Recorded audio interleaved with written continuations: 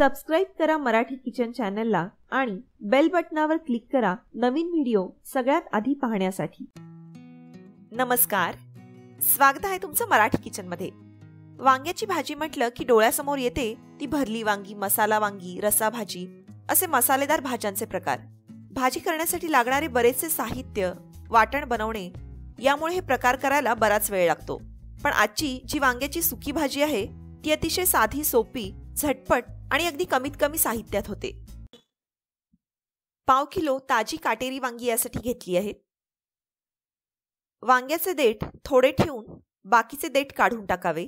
अशा प्रकारे बाहेर आलेला जो हिरवा भाग आहे तो काढून टाकावा. पूर्ण काढून टाकायचा नाहीये. अगदी बाहेर जो भाग निघाला आहे तो कापून काढावा.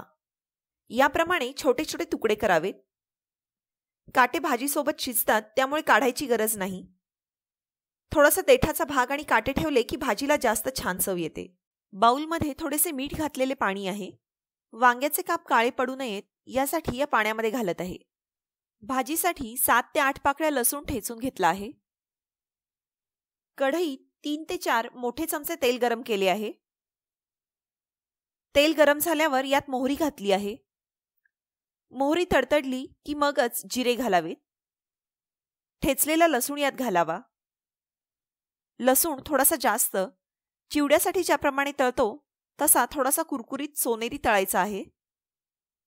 आता यात पाव चमचा हिंग घालत आहे. वांग्याचे काप यात घालावेत. काप खूप जास्त निथळायची गरज नाही. पाव चमचा हळद आणि आवडीनुसार एक चमचा घरगुती काळा मसाला किंवा कांदा लसूण मसाला किंवा तो नसल्यास लाल तिखट आणि थोडासा गरम मसाला यात घालावा. सकाळच्या गडबडीच्या वेळी टिफिनसाठी बटाट्याच्या काचऱ्यांप्रमाणेच या वांग्याच्या काचऱ्या करायला अतिशय सोपे पडते. वांग्याचे काप पाण्यातून काढून लगेच फोडणीत घातल्यामुळे वांग्याला बऱ्यापैकी पाणी असतेच. त्यामुळे एक्स्ट्राचे पाणी घालायची गरज नाही. गॅस आता बारीक केला आहे. चवीप्रमाणे मीठ यात घालावे.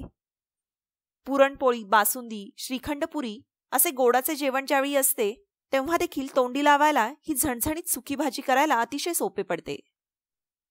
तिखट मीठ एकसारखे लावून झाले आहे.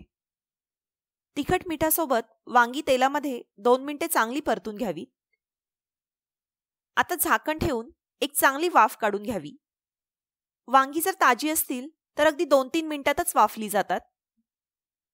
वांगी छान वाफली आहेत. खूप मऊ देखील शिजवायची नाहीयेत भरपूरशी कोथिंबीर यामध्ये घालावी. एखाद चमचा जाडसर असा भाजलेल्या शेंगदाण्यांचा कूट घालावा. अगदी टिपिकल महाराष्ट्रीयन पद्धतीची भाजी आहे. भरपूरसा लसूण आणि काळा मसाला घातल्यामुळे दुसरे काही घालायची गरज नाही. कोथिंबीर आणि दाण्याच्या कुटाने भाजी आणखी छान खमंग लागते. वांग्याची सुकी भाजी तयार आहे. त्याचप्रमाणे रेसिपी कशी वाटली ते मला कमेंट्सद्वारे नक्की कळवा. व्हिडिओ आवडला तर लाईक आणि शेअर करायला विसरू नका. धन्यवाद.